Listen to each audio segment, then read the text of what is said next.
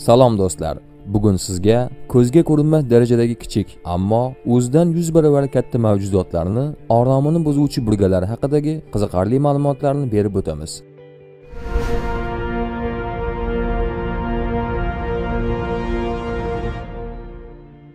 Burgalar odamlar uchun xavfli hisoblangan 200 dan oshiq kasalliklarni tarqatishi aniqlangan. Burgalarga ushbu kasalliklar hech qanday xavf solmaydi.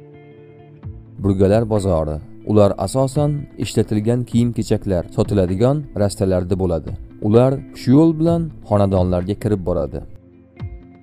Burgalarni o'rgangan mashhur kishilardan biri charlz rosshild bo'lib, u Misrda tarqalgan o'latni sababchisi ham aynan burgalar ekanligini isbotlagan. U 46 yoshda o'z joniga qasd qilib olamdan o'tgan. Mutaxassislar uning o'z joniga qasd qilishiga burgalar orqali yuqtirib olgan kasalligi deb hisoblashgan.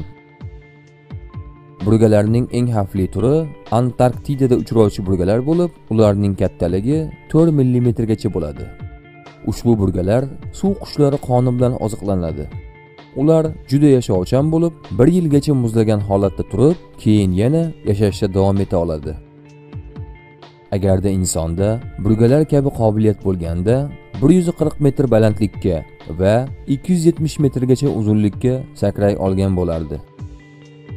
Burgalar yer yuzidagi eng qadimgi mavjudot hisoblanadi.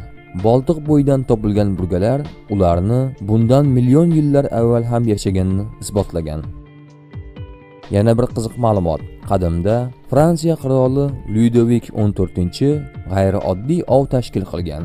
Unda qirollik kishilarini bezovta qiluvchi burgalar ov qilingan. Do'stlar, rolik sizga yoqqan bo'lsa, unga like orqali baho berib o'tishni unutmang.